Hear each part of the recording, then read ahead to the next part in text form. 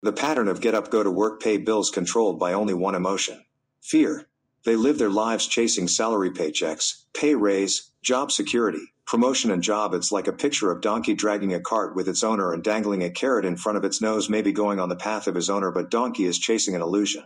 Tomorrow there will be another carrot for him, which is still just an illusion or fantasy thought. Fear pushes you out the door and desires calls to you. That's the trap. If the donkey see the whole picture, it might rethink its choice to chase the carrot.